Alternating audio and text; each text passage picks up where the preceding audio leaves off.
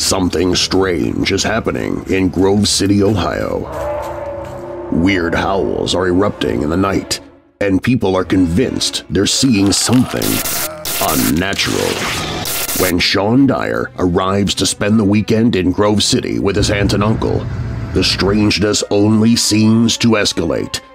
And soon, he discovers that the small Ohio town shelters a dark secret, one that snarls, gnashes, and chases people.